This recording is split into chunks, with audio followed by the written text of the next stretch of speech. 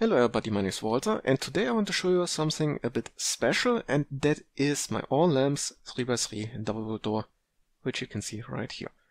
So as you can see at the moment we have this 3x3 tunnel that is lit up quite a bit with two levers and if I flick any of those levers here as you can see this door here closes and now I have a 3x3 double door with the complete door face made out of lit lamps. Obviously it looks the same from the back side and can also be opened or closed from this side here. And as you can see, now we're back to this lit up tunnel. So essentially this is a very fancy version of this always on 3x3 double door, which I showed you in the previous tutorial. And as you can see, it's also a bit bigger due to the fact that I needed that additional space to fit in the required redstone circuitry.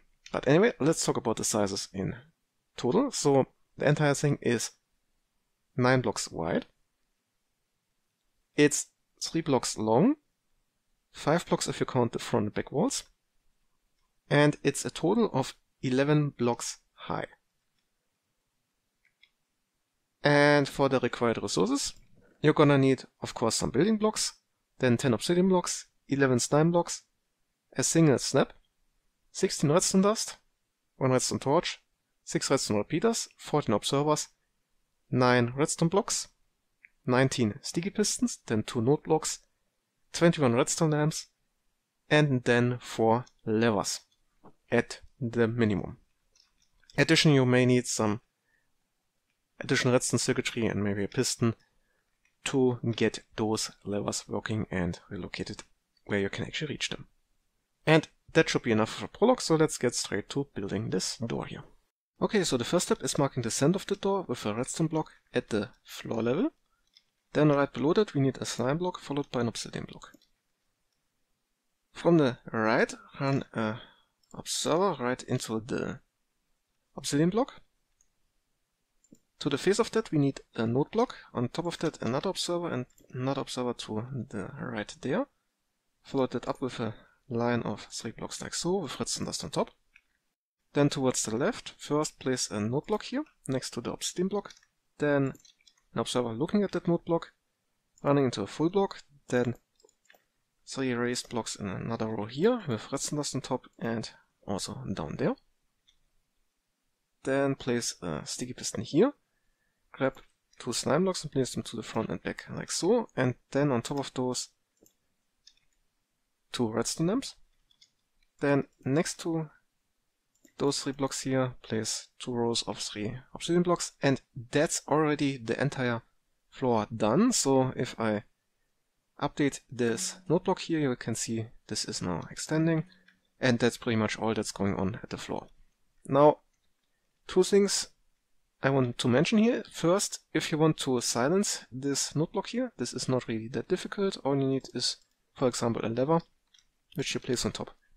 Need some kind of block that won't stick to the slime blocks. And as you can see, now it's completely silent.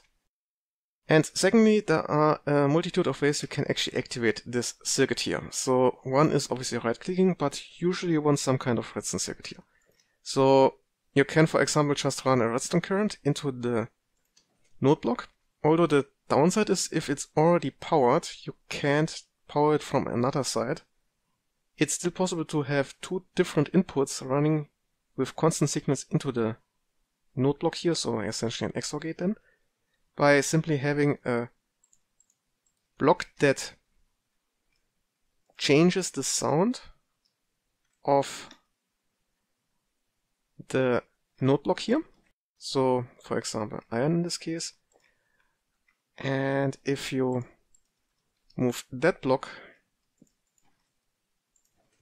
you can see I now can actually activate it from both sides with constant signals. So a very compact way in this case to create some kind of XOR gate there. But anyway, now it's time to start building the two sides. And they are pretty much the same, just mirrored. So let's start on the right side here with two observers on top of those two redstone wire there. Put blocks on top, redstone dust on top. Then on one side we need a observer on top of this redstone wire here, block on top and towards the middle there, some redstone dust on top of this. Then grab a sticky piston, place it in this gap there, then another three sticky pistons to this side and to this side here. In between we need three slime blocks, then put three redstone blocks like so and another six redstone lamps like this here and then quickly mirror this to this side here. And with that we can give it a little test run, so simply flick the lever down there and we should see this closing up with the exception of the center part which we still need to build. If we flick the lever again it should open up properly and now let's continue on. So we start on the right side with a block next to this observer there. Put a repeater on two ticks in this direction, run this into a full block with a torch to the back there. On top of the torch we need an observer with a block on top, redstone dust on top. Then towards the center we need a raised full block there. Then put a lowered block to the front and back with repeaters going outwards on 4 ticks each. Put observers looking at those repeaters towards the inside like so. Then grab your sticky pistons, place two in the middle and then two towards the front and back like so. Then below the center we need a column of two slime blocks. Then below the other sticky pistons some redstone blocks. Then in the middle a row of three of those redstone lamps. And now we continue with four redstone lamps in the corner, so we have this little shape here. Then lastly, let's fill in the rest with some obsidian blocks. Now let's go and place a raised block on the left side here. Put some redstone dust on top. Then we need a obsidian block here, followed by an upside down step there. Put some redstone dust here, a repeater on one tick there. Then put two blocks down like so. Put down two repeaters on two ticks each an observer looking at the second repeater there, and a full block on top of that observer. Now let's see if this part is working. So you can see this is now closing and it should also open up properly.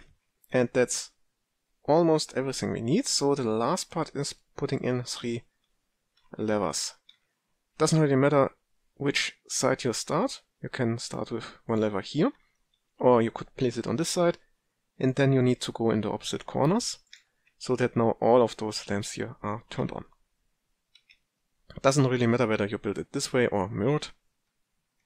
And now as you can see, the door is closing and opening up properly. And that's the entire build done. So last part obviously is filling in the front and the back wall and bit of the floor. And here just make sure that you have some obsidian or other immovable blocks. Or otherwise we'll get the blocks you place here stuck to the moving door segment right there.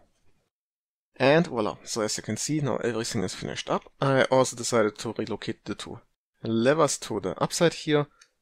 Uh, when doing so I just had to be careful that I don't accidentally power this sticky piston out there. But anyway, that is basically how you can build this all lamps 3x3 in double vault door. I hope you enjoyed this little tutorial and well, see ya!